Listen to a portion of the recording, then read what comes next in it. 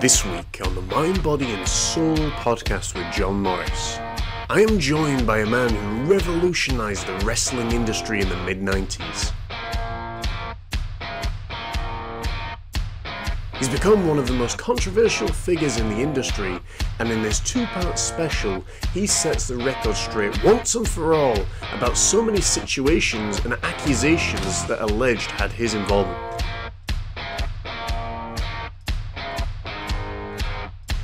Special guest on the Mind, Body and Soul podcast this week is the legendary Eric Bischoff.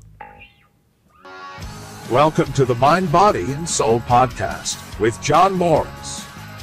Inspiring, motivating, and educating you in finding balance in the craziness of day to day life. Learn from and listen to a man who has a wealth of life experience, from business to bodybuilding, artist to author and has learned to deal with his own physical and mental wellness. But that's not all. Each week, John interviews and picks the minds of special guests from all around the world and from all walks of life. From actors to authors, wrestlers to warriors, business owners to life coaches, and so much more. Welcome to today's episode of the Mind, Body, and Soul Podcast with John Morris.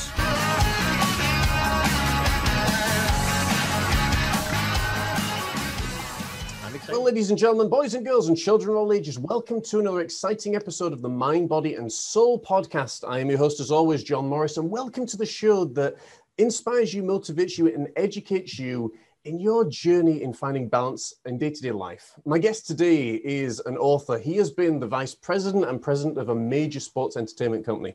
He revolutionized his particular industry and niche and became one of the most controversial people and persons, rightly or wrongly, um, in history of his niche.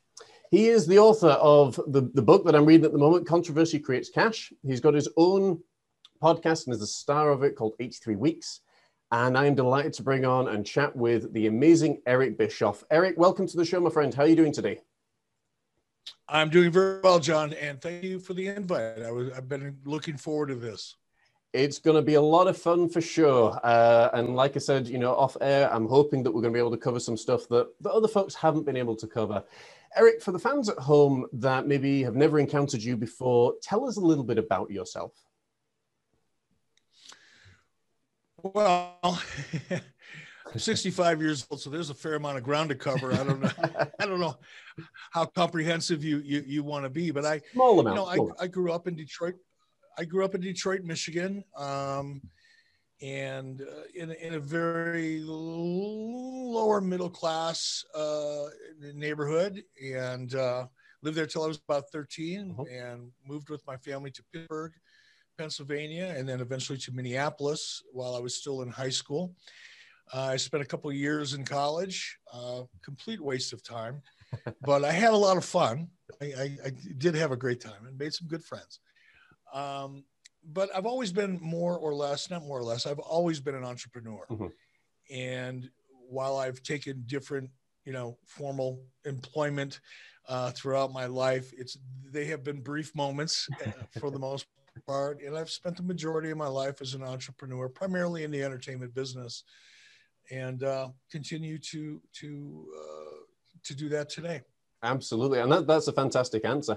Now, there's a lot of people watching this show that, again, that have seen you on TV, and it was one of the, the, I suppose, most popular comment that came back from people that don't know you, and that's part of the purpose in doing this show today. That oh, Eric was born with a silver spoon in his mouth, but nothing could be further from the truth you know, like you say, you grew up in Detroit, the the, the former Motor City, as it were, now obviously very, very uh, much struggling. But you know, back in 1955 on May 27th, and in doing my research, I found that you know your dad, um, you know, had some issues. You you didn't grow up in in you know all pretty and happy circumstances. Your dad had issues with his spinal cord. Uh, which led obviously to massive headaches, and he goes in for surgery, and he ends up coming out with no headaches or anything, but no use of his fingers and limited movement in his arms. What was your understanding of all of this as a young child? You know, I was actually too young to really okay. comprehend what it possibly could have meant. Now, I will tell you that the the years, decades really, um, following that surgery had a pretty profound impact on me because my father, you know, before he went in for brain surgery, he he was, you know, he grew up on a farm. He loved to hunt. He loved to fish. He was a very physical person. He loved to work with his hands. He loved carpentry.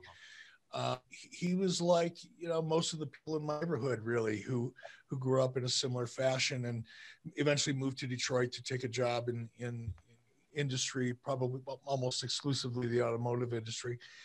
Um, but you know, I remember as a young boy watching out the the window of our living room as my mother and my father got into the car and they were taking my father to have which is uh, essentially it was brain surgery yeah. the, the spinal issue involved the connection really between the brain and the spine and that's where the issues were with him and you know i was too young to understand just how you know again this is probably about 1961 or yeah. 62 so i was only six or seven years old and clearly didn't understand how serious something like brain surgery was, especially in 1962. It would be a serious, yeah. you know, operation today, but back in 1962, before the advancement of medical technology and science and all the things that we know today, it was an even riskier uh, surgery. So, but I, I, you know, I sensed in my parents their concern and their fear. They yeah. were young.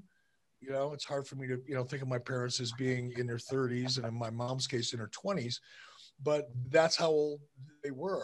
And they were they were kids. You know i look at 20 and 30 year olds today and 35 year olds as children partly because my own children are that age. But you know it's hard for me to really comprehend yeah. the the fear that they must have had.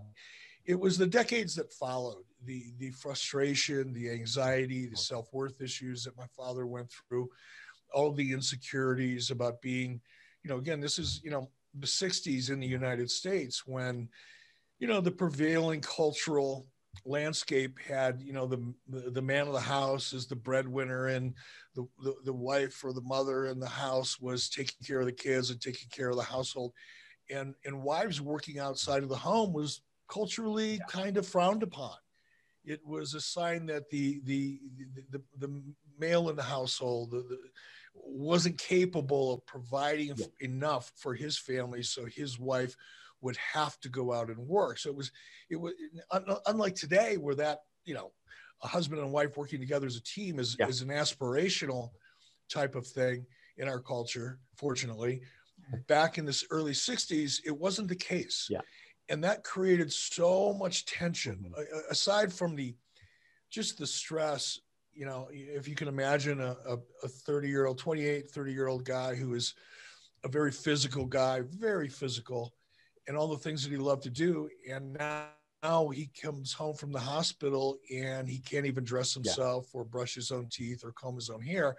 And he's reliant upon his wife to take care of him in that respect. It was very demoralizing, mm-hmm. I think degrading for my father. And that had a pretty profound effect on his life for decades afterwards. And I certainly remember the manifestation of all that it, and Stress. it is. I mean, it's it, it is. It's it's really interesting how you know we've covered this in other shows. How one event can literally change the entire course of your life.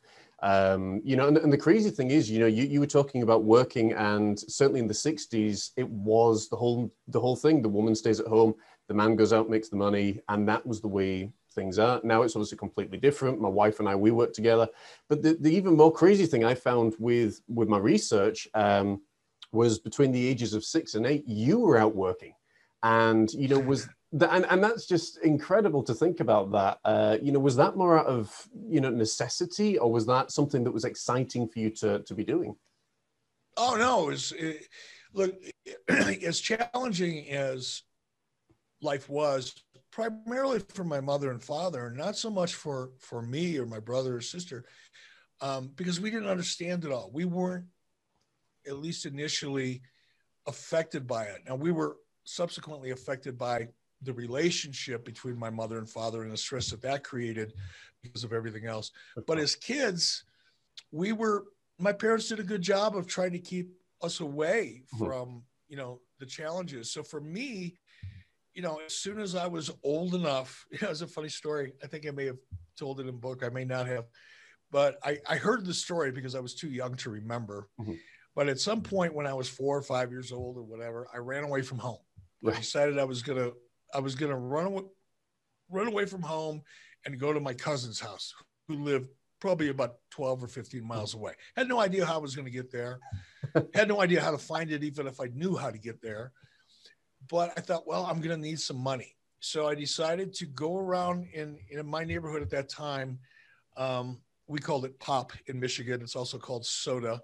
Okay. Yeah. Uh, but it's soft drink like Coke and Pepsi and all that. And it came in bottles, and there was caps on the bottles. And people would pop, you know, the the pop off or the cap off the bottle, and just throw it in the dirt, throw it on the street or whatever. So I decided I was going to collect all of those caps, put them in a bag, and I was going to sell them door to door.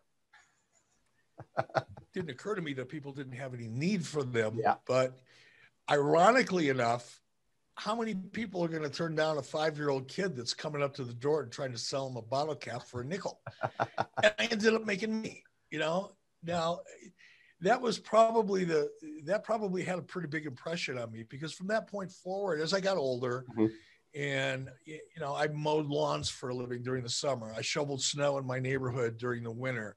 You know, I delivered newspapers for the Detroit Free Press when I was 10 or 11 years old. I'd get up in the mornings, on the weekends especially, at three or four o'clock in the morning in the wintertime on my bike, go down, pick up my load of papers, go all the way back to my neighborhood and deliver them and, you know, collect once a week. And I was making 16, 18, $20 a week as a 10 year old kid delivering newspapers and that i mean it's not that it was so much money but it was my money. Yeah. And it was i, I immediately connected effort idea and work to cash. And, and i think all that did was kind of fuel fuel that entrepreneurial instinct that i was probably born with but nurtured really just by growing up in the neighborhood that i did and the way that i did but that's always been something that's fascinated with your story uh, and from a business and mindset perspective and it feels and correct me if i'm wrong but you have you've had great fortune first of all but you've also had great instinct um, and discipline and mindset rather than as you said the formal education because you were like well like, you know i've started doing this education stuff but like your your lovely wife uh, who said the exact same thing she was like i just was so eager to get out and, and make things happen was that the kind of mindset that you had moving forward into your college years and obviously further study? Well, um, of the characteristics that you mentioned there a moment ago, discipline was never one of them. um, I, I, was very driven, mm-hmm. and um, that was a kind of that was a conflict for me because uh, patience has never been something that I've been able to cultivate in my mm-hmm. personality, and it's it's a challenge for me even yeah. today. So is so is discipline. Um, I think because this is probably true with people who are entrepreneurs or creative people who are entrepreneurs, and I kind of throw myself into that category.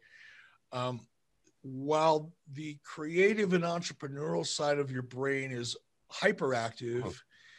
the other side of your brain that requires discipline and focus and and uh, procedure is kind of inactive. Yes. So I've always had this right brain left brain war going mm-hmm. on inside of my skull. Um, every once in a while, I have to focus and be disciplined, and and and I'm grateful when I do, but it's not a natural thing for yeah. me. So um, going to school for me was obligatory. I, I, I went, you know, I love to wrestle. I, I, I wrestled in high school and, and out, out, after high school, I wrestled um, on the AAU freestyle and Greco-Roman wrestling teams. And the only reason I went to school was to get girls and to wrestle. and sometimes I did both. Yeah. But um, it was at the same time. But um, you know, I, I, I had no aspirations to go to college all the way through my senior year in high school um, I, I, had planned, actually, I had um, planned on joining the military. Oh, wow. And uh, went, so, went so far uh, my freshman year in college to join the, uh, the ROTC, actually the NROTC, the Marine Corps version of ROTC, to supplement my, my college expenses.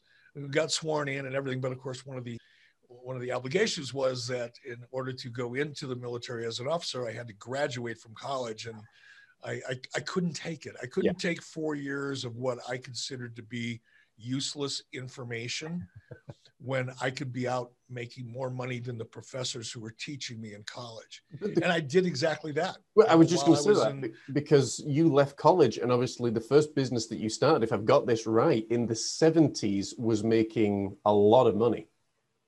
Mm, yeah. Well, even before that, um, slightly before that, you know, I was working in a restaurant in downtown Minneapolis, right real near the University of Minnesota where I was attending college. I started out as a dishwasher and then I became a cook and and I loved it. You mm-hmm. know, I it, it, was a 24-hour restaurant. I would work the night shift from 11 at night to 7 in the morning. I, I don't know why, but I just loved it. And eventually became a manager. You know, while I was going to to college, I was a full-time restaurant manager in a pretty big restaurant.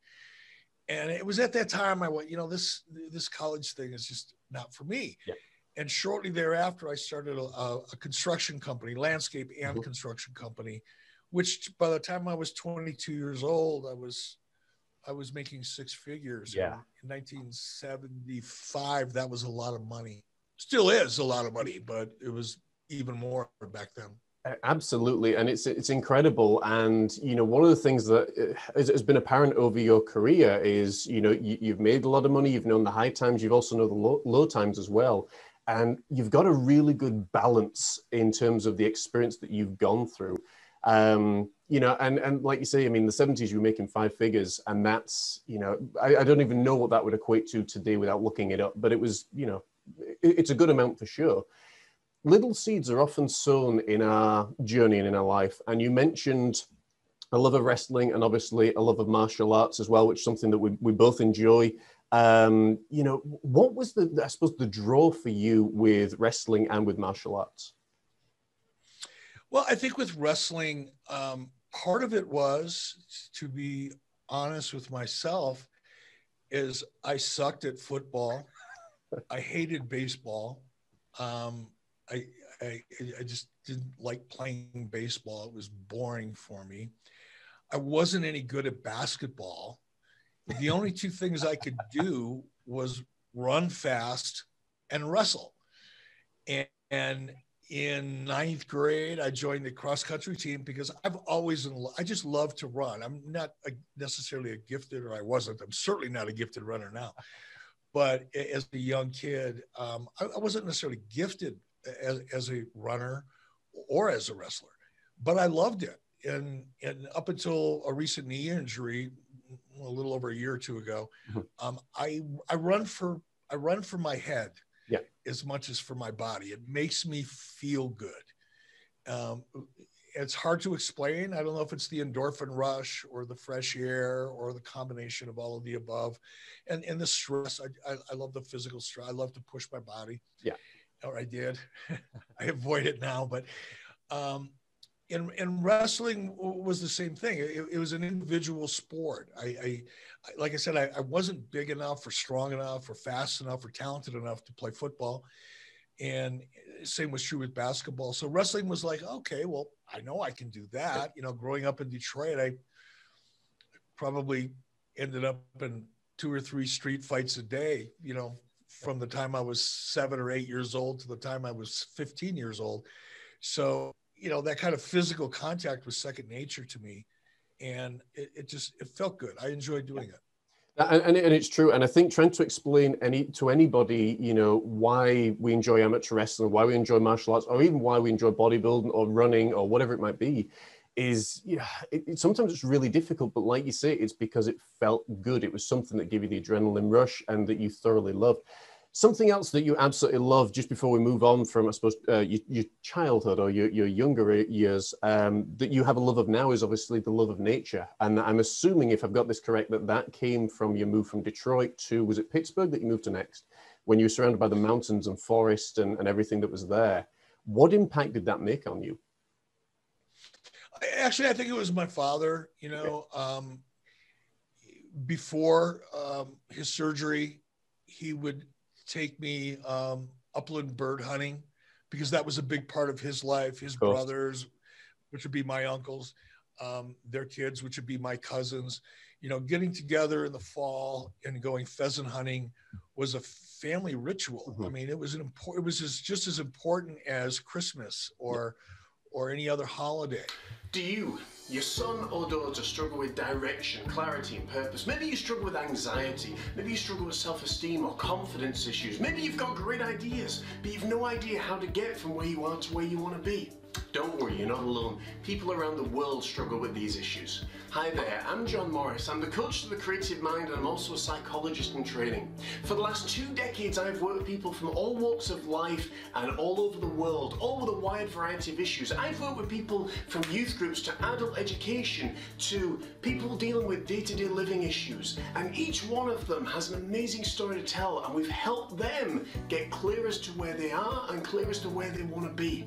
And I want to help you. Oh, Unlike a lot of life coaches and therapists that like to drag things on and leave you dangling on the carrot, I want to make sure that each and every single time that we meet and have a life coaching session together, that you never ever leave saying, man, that was a waste of time, or I didn't get the value that I desired. I am committed to making sure that each and every single time we meet, you are one step closer by the time we finish to a goal that you have in mind. So why should you work with me? Well, let me tell you, as I said, I'm committed to making sure that I provide value, that I provide something that's step by step and easy to follow. I'm also a fantastic listener. I've been blessed with the gift of listening, and I love to listen to people, their stories, their, their dreams, their desires, because there's nothing more energetic and passionate to me than when a client gets their first desire or they get that goal or they hit that big target or whatever it might be. And also, as a trifecta, I'm committed to you to helping you take action. So whether or not it be deciding on the university you want to go to, deciding on the course that you want to be at, helping you get excited and passionate about your work environment, whatever it might be, I am committed to helping that happen. I'm also committed if you need to shed some pounds, if you need to gain some muscle mass, if you need to, I don't know, develop your self-esteem, I'm committed to helping you take action and following a step-by-step plan of action that we can put together. But now folks, I want to tell you about the early bird special offer that we are launching right now. It is for 10 people and 10 people alone. That's right, if you are interested in having life coaching sessions with me one-on-one, -on -one, 10 people have the opportunity to do that and we're looking to help these people change their lives completely. We take ages 14 and upwards, so if you're interested in learning how to get from where you are to where you want to be, to, really develop that passion, to live a life that you enjoy as opposed to a life that you wake up and think, ah, you know, how to develop and change your mindset from maybe a negative one to a positive one, understanding what fuels your mindset and understanding what creates the kind of life that you want to live, then get in touch me today. I would love to hear from you. As I say, this is open only for 10 people and once it's done, it's done. So click that box below, get in touch, let's have a conversation backwards and forwards and see if we're a fit for each other. And I look forward to working with you. Have an amazing day, folks. Take care. God bless, and I will see you soon. And you look for, I, as a kid, you know, I look forward to it. And, and my dad would take, he'd just take me along. I mean, I mm. was too small, obviously, to hunt, but I got to be a part of it. Yeah. And I got to feel a part of it. And uh, to this day, you know, pheasant hunting is, in fact, I'll be going on Thursday morning, uh, two days from now. Uh, pheasant hunting is still something that kind of brings me back to that time in my life when when I was a kid growing up, and it's it's stayed with me. Now, when I moved to Pittsburgh, because Detroit, you know, it was you didn't get a lot of outdoors or forests yeah. or hills or anything. Detroit is a very flat industrial yeah. Environment. You know, there's there's not much to see there. You know, if you go into northern Michigan, three four hundred miles away, it's much different. But Detroit proper, where I lived, was fairly bleak in uh-huh. terms of its landscape when I moved, when my family moved to Pittsburgh, we moved into a suburb of Pittsburgh that was geographically completely different. It was lots of trees and yeah. hills and and we even had pheasants, you know, in our backyard, you know, and it was like, whoa, this is amazing. Yeah. And I, I think more importantly, when I, as a young boy, when I moved to Pittsburgh, there was a gentleman by the name of uh, Bob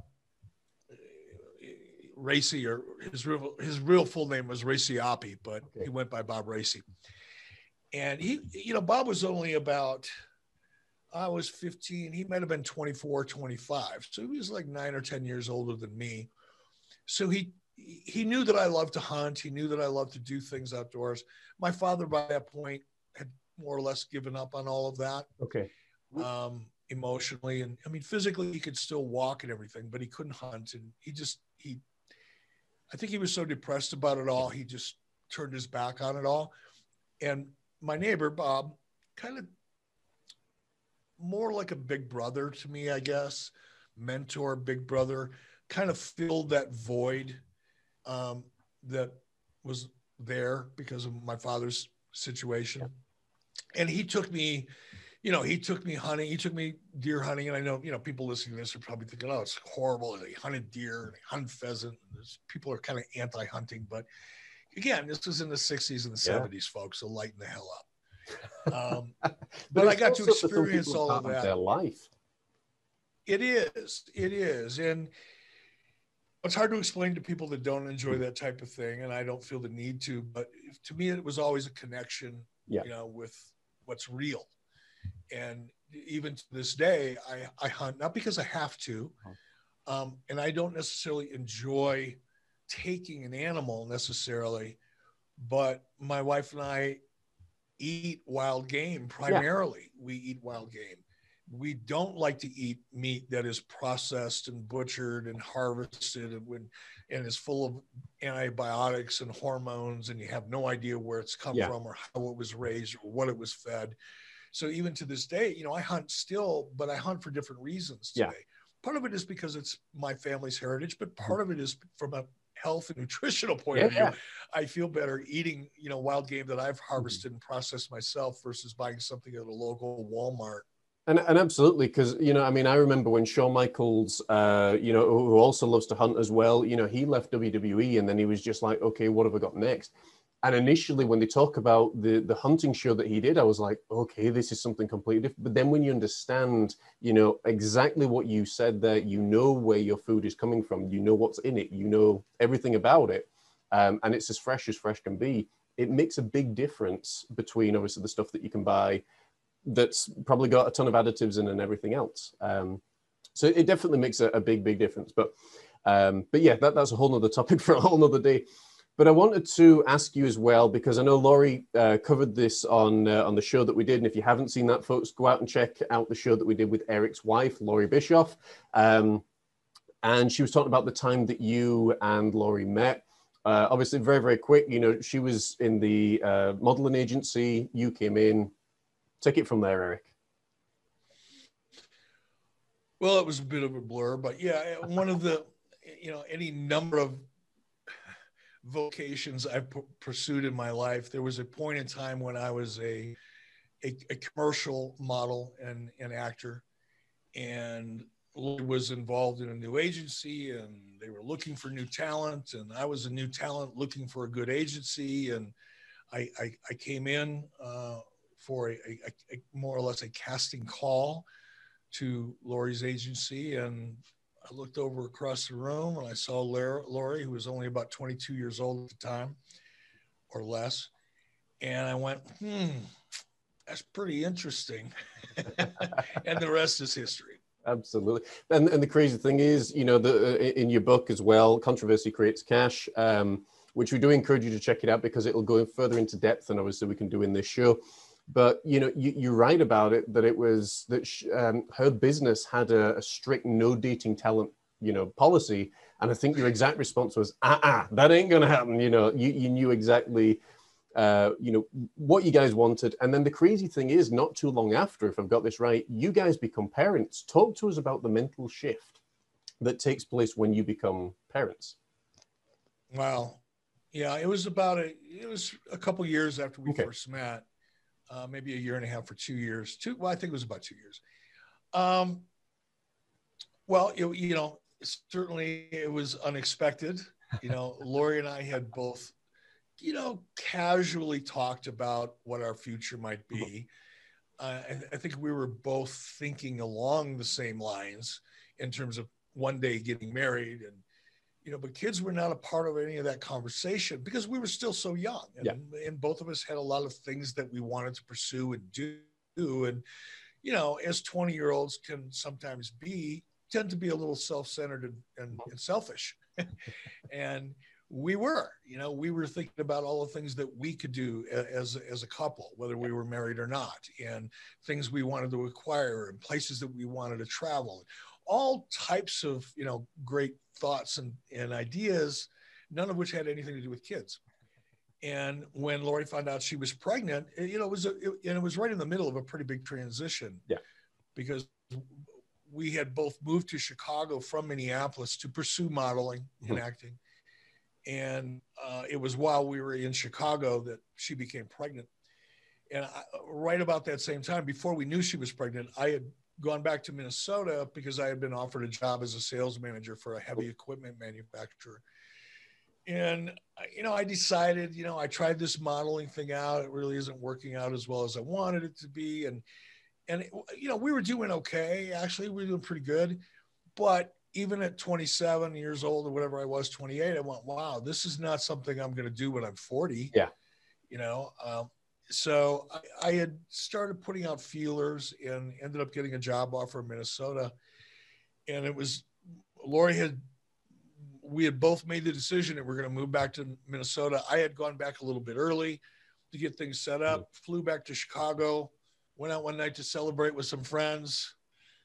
That's when Loree became pregnant and it was a, shortly about a, you know a couple weeks thereafter why we had just gotten back to minneapolis in fact we were living in my parents my parents had a it was in the summertime my parents had a camper outdoors and we were literally because we didn't have a place to stay we were living in a camper uh, it was great by the way we had a great time but um, it was then that loree found out she was pregnant and we weren't married had no plans on getting married anytime in the near future, even though we had kind of very generally discussed it. Yeah. But it was very non-committal. You know what I mean? It was like, yeah, yeah maybe, you know. That, that would be a good if. idea somewhere down the road, perhaps. Yeah, but once Loree found out she was pregnant, um, you know, it's kind of funny because Loree's always been fairly independent minded, and so am I. And when she found out, you know, I went outside uh, it was a Sunday, Sunday morning. I went and got the pregnancy test for her and brought it to her. And I went outdoors and was occupying myself with something. I don't know what I was doing. About 45 minutes later, Loree came out and said, It's positive. And I knew in that moment what I wanted to do, but I didn't want to influence Loree. Yeah. I, because I, I have a strong personality I'm aware of that. And sometimes I can run over the top of people without really intending to do so. A pretty strong force of will. And sometimes that's great. And sometimes it's not. Yeah. And I recognize that this was one of those times where it was not. Yeah. So I, I said, well, let's uh let's go out and get some breakfast and let's talk about this. Well, little did I know, Loree was of the same mindset we both had made up our minds that we wanted to have our son Garrett. We didn't know he was a, we didn't know he was a son yeah. then, but we both knew that we wanted to have the baby. But neither one of us really wanted to kind of feel like we were forcing the other to go yeah. along with that decision. So, although we were both of like mind, we were both very tentative about how we were going to engage the conversation. And we got to the restaurant and we sat down and ordered breakfast and you know i said well what what, what do you want to do and she says i want to have this baby. And i was so happy because that's exactly what i wanted to do and i didn't have to talk her into it or feel like i was. So it was a pretty easy decision. And and from that point forward everything else just fell into place you know? We knew we were going to get married. We didn't want to get married while loree was pregnant. So we waited until August, I think, um, and and you know, Loree, you know, finally had the baby, and I was able to walk down the aisle holding my son. Uh, it was all very special, all very cool. You know, we we loved it, and everything. Like I said, everything fell into place. It's, it is a really, really wonderful thing, uh, you know, and, and, that part of your story. And obviously, the story continues because if I've got this correct, you know, y- yourself and Loree are really enjoying being parents. Um, and a friend of yours, now was it, was he a martial arts friend in Sonny Onoo that uh, talks to you about a new idea for a business? And this was the one that started to lead things perhaps into more of the entertainment and the, what was it the um, how to phrase this, the game industry, if I've got that correct. Yeah, well, uh, we we skipped over a little bit. Um, okay. You know, before I met Loree in the late '70s, mid '70s, I'd always been interested in martial arts and had dabbled in it as a young kid, but never really had the money yeah. or the ability to, you know, get to classes on a consistent basis because I didn't have a driver's license. Think, you know, I had to take a bus to go to martial arts training, which was, you know, an hour and 40 minute bus ride by the time I finally got there. So uh, it was very intermittent. And then once I, I left college and while I had my con- construction company, I started really getting serious about martial arts and got so serious about it. I sold my construction company to my partner, cashed out, and literally trained full time for about three years, four years. And quite proficient martial arts. I was very competitive and, and fought in a lot of tournaments. This was, of course, before the UFC. Oh, yep. Professional karate was known as the PKA or the Professional Karate Association. I actually fought on ESPN a couple times. Wow. Had one, two, two pro fights before I finally, you know, hung it up. Mm-hmm. But during that period of time, I had met Sonny Onoo, and Sonny was a very, very proficient martial artist. He was one of the top rated bantamweights in the world professionally at the time. And he and I would travel around the country and we'd fight in these different tournaments together. And of course, at night on the weekends when the tournament was over, we were busy chasing women and getting into all kinds of debauchery and trouble. And one night we were sitting around and, and I asked Sonny, you know, I said, tell me what you, cause Sonny grew up in, Tokyo. Sonny's a little older than I am, maybe a couple months older. And he grew up in Tokyo. And one night where we were consuming copious amounts of adult beverages. I I asked Sonny, I said, you know, what was your life like as a kid growing up in, in Tokyo? And he told me a story about he was a kid, he and his friends, because he grew up in a similar economic environment that I did, very lower middle class. And they would go around and they would find milk bottle caps because evidently in Tokyo and Japan at the time in the 60s, you, you would have milk delivered to your house and it had a twist off cap on it. And people would throw the caps away or whatever. The kids would collect these little caps and they would play like these ninja stars. They would mm-hmm. play tag. So, but they were like throwing ninja stars. And I used to do the same thing in Detroit, only my friends and I would throw rocks at each other. And if you got hit by the rock, you were out. On Sonny's case, if you got hit by a milk bottle cap, you were out. That's what we did for fun. That's all we had.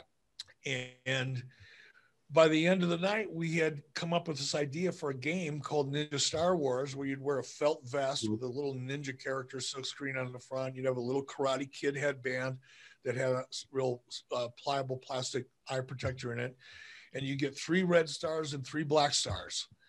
And the stars were about this big, and then were weighted down a little bit, so you could throw them across the room, and they'd hit you and they'd stick. And you know, the first person to get three stars on somebody won the game. I thought, well, that's a great idea so we set about manu- we found a manufacturer in South Korea and he manufactured like 5,000 of these games or 3,000, whatever the number was. There was a lot of them. And we had them all shipped to the United States and we went, okay, now how do we sell them? like we never thought about that part, right? So we tried different things, you know, and we had a limited success, but it, it, it was, wasn't until um, about 19, this was all going down about 1985, 1986. 1987, I called Verne Gagne, who was, he, he had a wrestling organization yep. called the AWA, and he was producing a show on ESPN. And I had met Verne Gagne. Verne Gagne was a big supporter of amateur wrestling in Minnesota, and that's how I first met him. I'd actually gone on his show a couple times, or one time in particular, promoting an amateur wrestling event that I was a part of. So I, I thought, you know what, if I just pick up the phone and I play the you know the amateur wrestling card. You know, amateur wrestler from Minnetonka, Minnesota. That's where I went to high school, and Vern lived in the next suburb over, so he was very well aware of it. I said, you know, maybe if I just call him up, and say, hey, this is Eric Bischoff. You know, I used to wrestle at Minnetonka High School, and you know, you and I met at the regional tournaments, and blah blah. And I got this idea for a game. It worked, you know, and he invited yeah. me in, and I demonstrated the game for everybody, and they loved it and we ended up doing what's called a, an infomercial. We mm-hmm. see them yeah. all the time now, advertisements, and they, it's a direct response type of ad. Yeah. And I cut a deal with Vern. I said, I'll produce the commercial. I had no idea how to do that, by the way. I'd never done one before, but I said, I'll do it. I'll produce the commercial. And I already had the games. If you put the commercial on the air and we sell a game, we'll split the profit 50 50.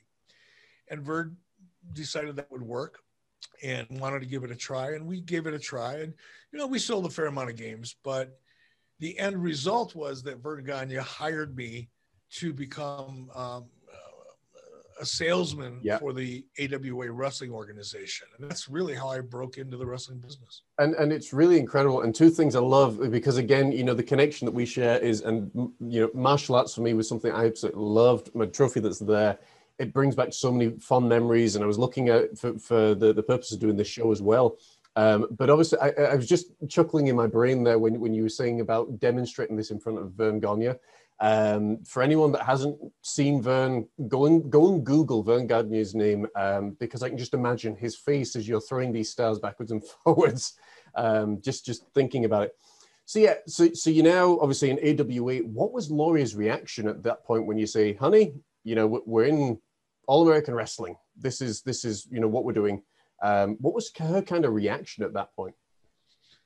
Oh, she was very excited and supportive. She was excited because I was excited. You know, and that's the one thing about Loree, and and hopefully I she would say the same about me. Um, is we've both been so supportive of each other, no matter no matter what the situation. And believe me, there has been situations where I've been excited about doing something that made no sense whatsoever, from a financial point of view, from a timing point of view. Uh, I mean, I've I've made some pretty you know wacky decisions in my life. I life. hear you on that. I've And done Loree's exactly always the same. She- and she supported them no matter how good the ideas were, how bad they were. Didn't matter. She was fully supportive, and I think I've been the same for her. And that just kind of nurtured that entrepreneurial instinct because I never felt like, oh, I now I'm married and I've got two kids, so I've got to get a job, and settle down, and be a responsible Yeah. adult. You know, I've, I've, always known I need to be a responsible a, a responsible adult, but how I was responsible was completely with up to me. Yeah. that was my choice, and she was very supportive of it. Was your dad still around at this time um, when you're going to work for AWA?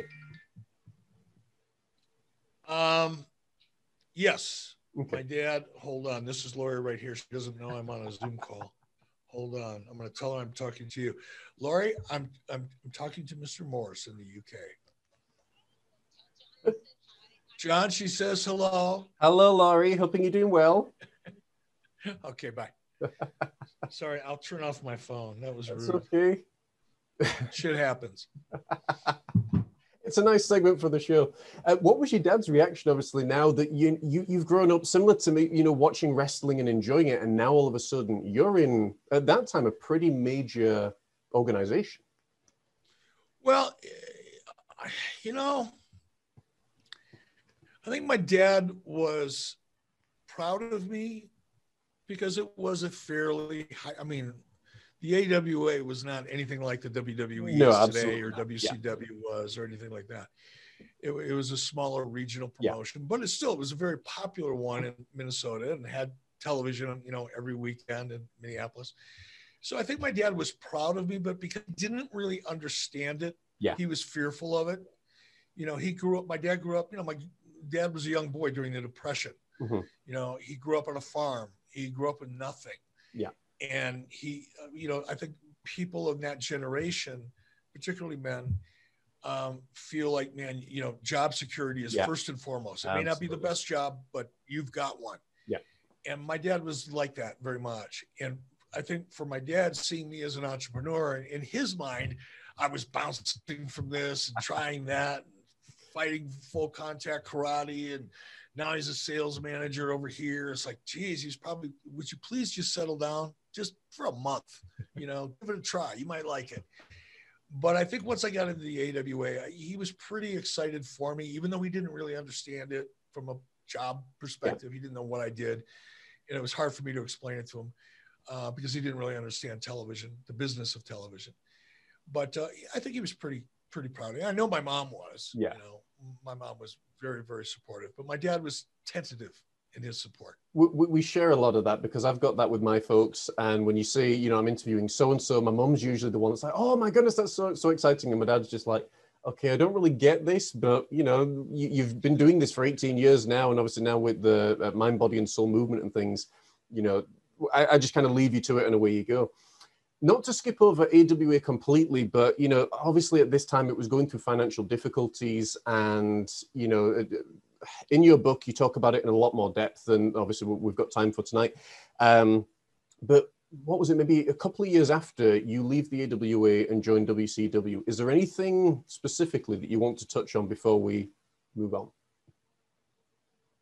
Well, you know, I think the thing that I value, you know, when I look back at my career all the good things, all the bad things, all yeah. the things in between.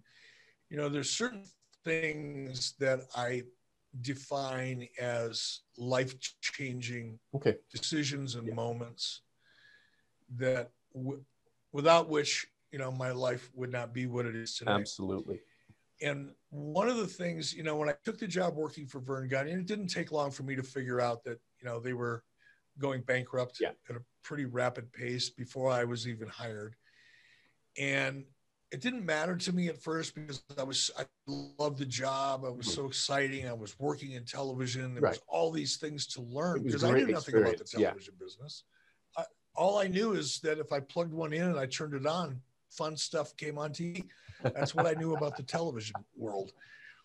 So to have an opportunity to learn so many aspects of the television business at a ground level, yeah. you know, I learned – I learned what television syndication meant and how it worked. I learned about advertising and sponsorships and how they work. That was primarily my job when I was first hired in, in AWA. I had to learn that on the job, but I learned it. I eventually got into production and learned how to run a camera. I learned how to build sets. I learned how to edit. I, I, I, I, I learned so much that even though the AWA, from a financial point of view, w- was a bad situation for me and everybody else, the value, the absolute value that I got from that experience mm-hmm. is worth probably more money than anybody could have possibly paid me at that time because it was that experience working for AWA that allowed me to achieve what I achieved in WCW. Absolutely. Now, now, just before, well, in fact, yeah, we're at we're at the point of WCW. This question I don't think has been asked in this way, and there's a very specific reason why I'm going to ask it like this. From your own lips, tell the people exactly what your role was in WCW. The reason I asked it just before you do is because from podcasts, from interviews, from reading your book, from from all of these different things, the people that seem to be blaming you for so many things left, right, and center. My opinion, and I know I'm probably get you know going to get you know heat or, or, whatever you want to call it. Um, you could not have been responsible for some of the things that they're blaming you for. So that's why I asked the question. Go ahead, Eric. Well, I mean, it's hard to say because you know my role in WCW, for example, when I was first hired, yeah. I was a third string announcer meaning uh, as an on-camera talent. Mm-hmm. I would do the international syndicated shows. I would do certain interviews. I, you know, Jim Ross was the number one announcer. Tony Schiavone was mm-hmm. number two, and I was number three. And I did all of the work that Tony or Jim didn't have time to do right. or didn't want to do. That was my role, and that was my role when I got hired. It was my role all the way up until about 1993. Yep when I was hired as a, as the executive, well, I was promoted to mm-hmm. the executive producer. Now, as an executive producer, you know that title means a lot of different things depending on the different what what production you're on.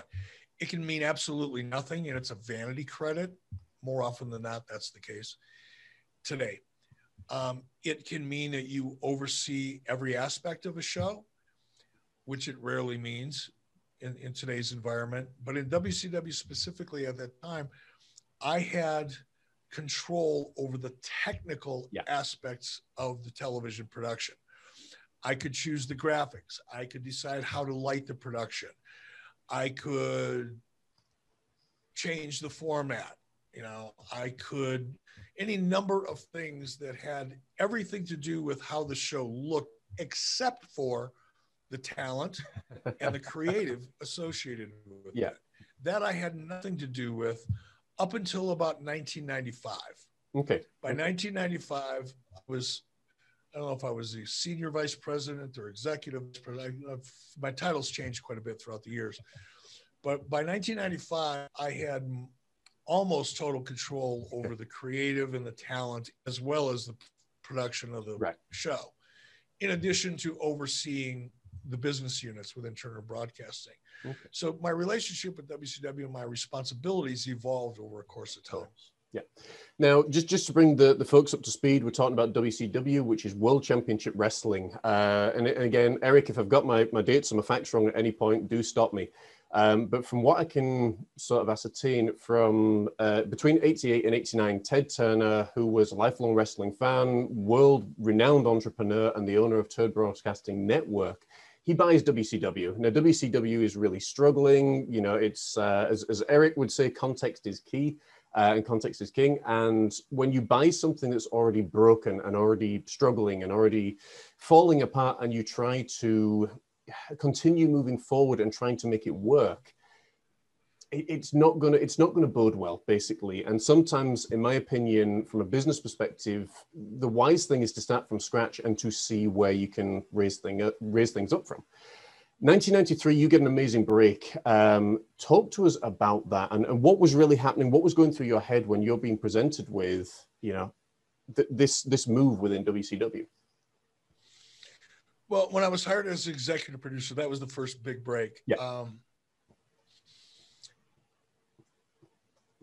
you know, I, I I saw nothing but an opportunity to succeed. I, I had no fear of failure, and part of that was because WCW was already such a damaged property that it had nowhere to go up.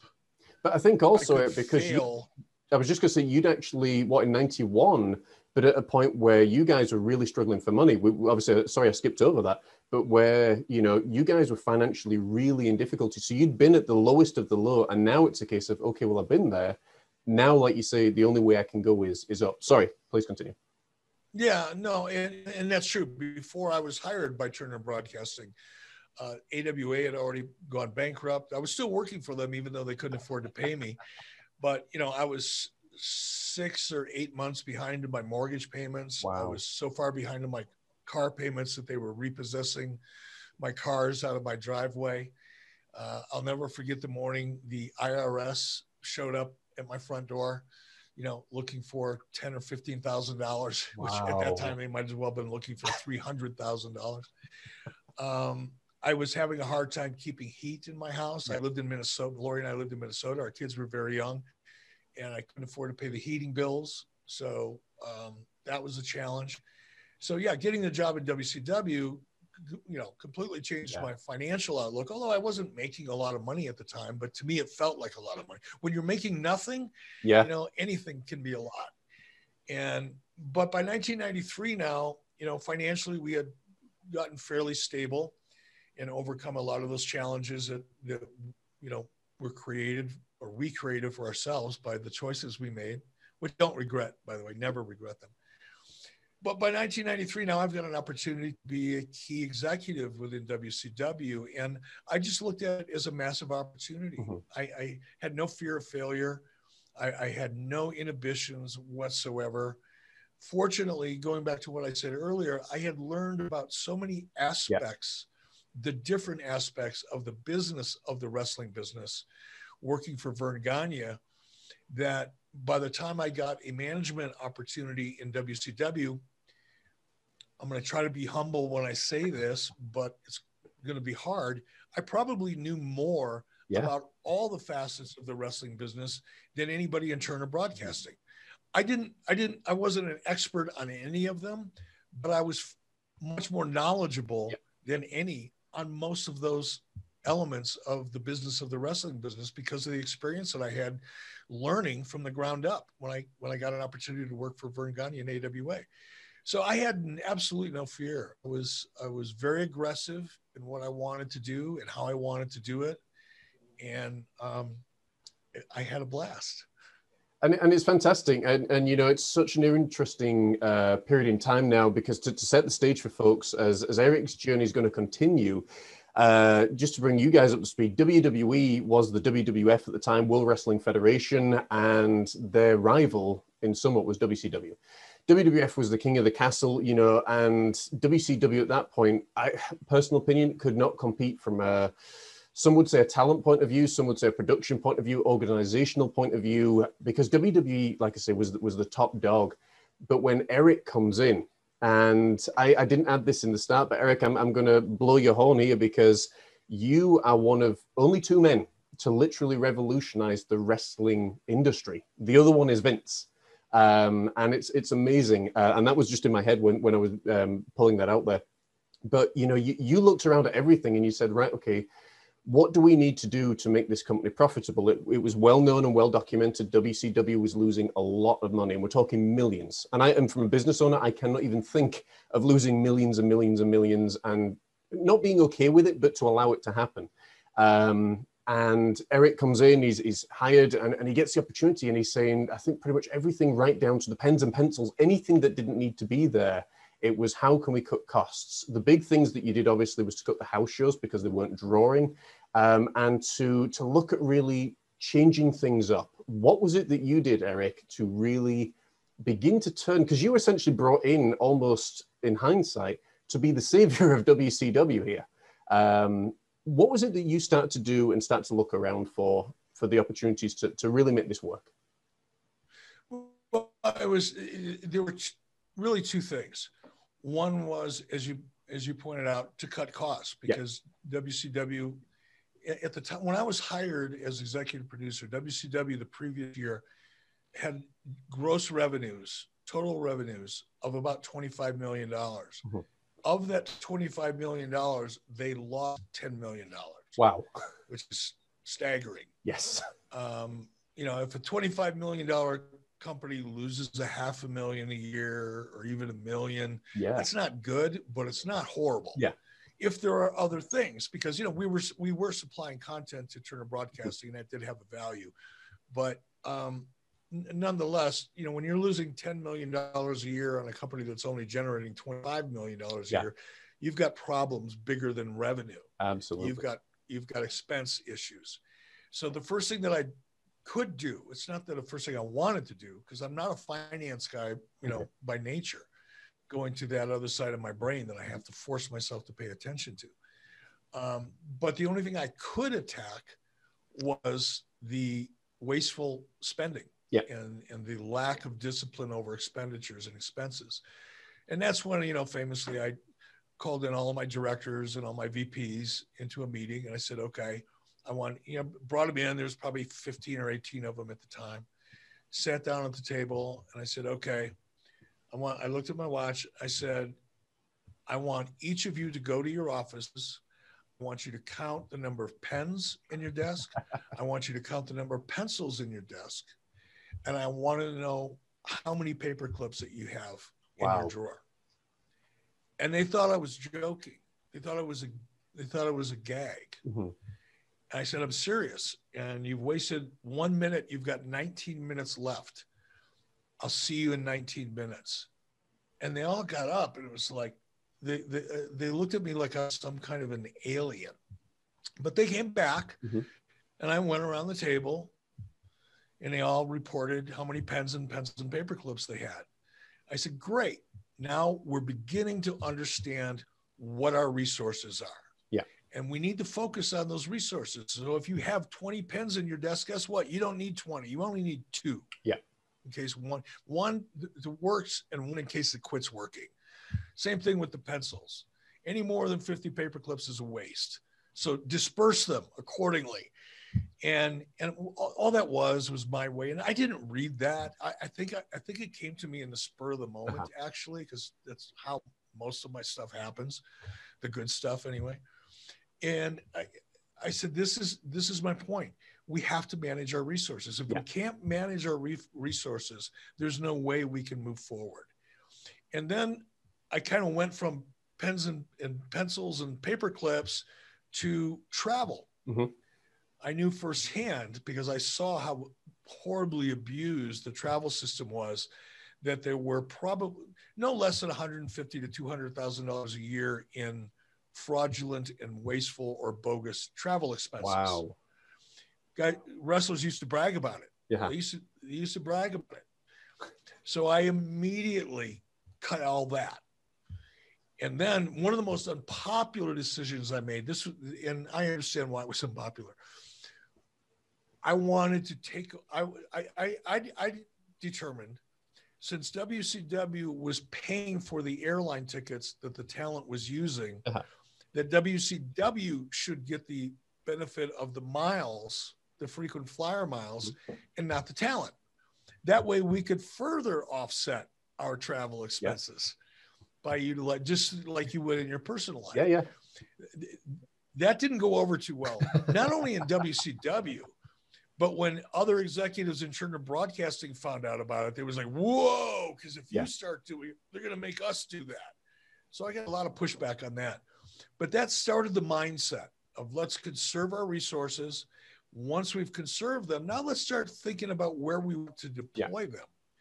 And that's why I cut out the house shows. My my big decision at that point was to shut down all the house shows, shut down any kind of promotion or activity, the WCW magazine, all of the ancillary things that were going on that were not making any money, that were costing money. I got rid of all of that and I put whatever resources were left into television because my philosophy was, my belief was that if you create demand in the television property and increase the production values, increase the talent, bring it up to the at that point into the mid 90s instead of the 1980s, um, that eventually you'll create demand for the product, and then you can return to to live events and increase pay-per-view buy rates and things like that. So that was the big transition for me, like in '93 and '94, and it proved to be correct. In part two of the Mind, Body and Soul podcast with John Morris, with special guest Eric Bischoff, we'll be discussing Eric's thoughts on the fall of WCW, what it meant to him, the British Bulldog accident, the battles that many substance dependent wrestlers face, and so much more. All that on the next episode of the Mind, Body and Soul podcast with John Morris. As always, don't forget to like, share, and subscribe. Tell a friend because it could be the very thing that helps them in their journey to find balance in day to day life. Until next time, I have been your host, John Morris. This has been the Mind, Body, and Soul podcast. Take care and God bless.